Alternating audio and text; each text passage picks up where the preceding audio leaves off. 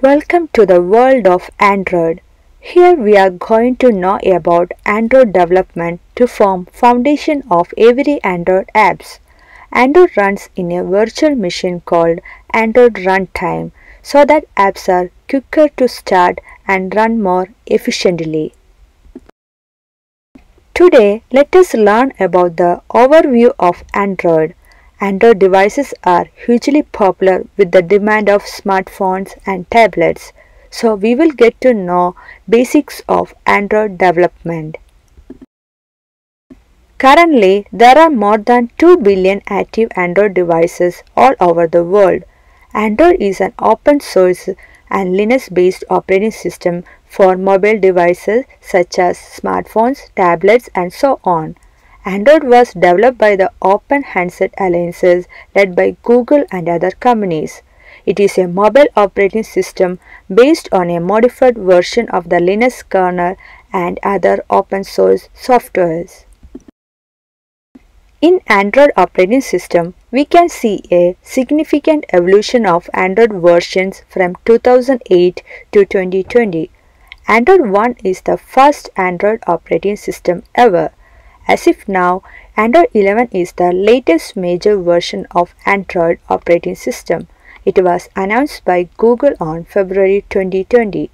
The Android operating system has evolved over time both in terms of user interface and security. It also improves in terms of the performance and software possibilities it offers. API level identifies the each framework of API revision for different Android versions. Initially, Android are designed to name as names of sweet treats. After Android Pie version 9 onwards, it started naming with numerous along with Android.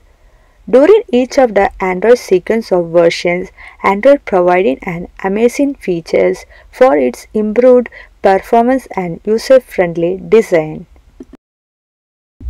There are lot of user-friendly features such as multiple language support voice-based features, multi-touch, multitasking, and screen capture.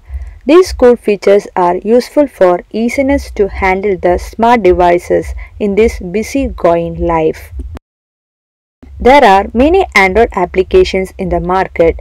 The top categories are weather, movies, TVs, business, games, wares, education, and so on. Android applications are usually developed in the Java or Kotlin language using the Android Software Development Kit. Once developed, Android applications can be packaged easily and sold out through the app stores. Android powers millions of mobile devices in more than 150 countries around the world. It's the largest installed base of any mobile platform and growing so fast. Every day, more than 1 million new Android devices are activated around the world. Android is one of the world's most popular mobile platform. It is an open source and Linux-based operating system available for development. It has larger developer and community reach. It has a very powerful development framework to build great applications. It allows developers to deploy apps to different screen size devices. Thank you for watching our video. Please stay tuned for upcoming Android tutorials.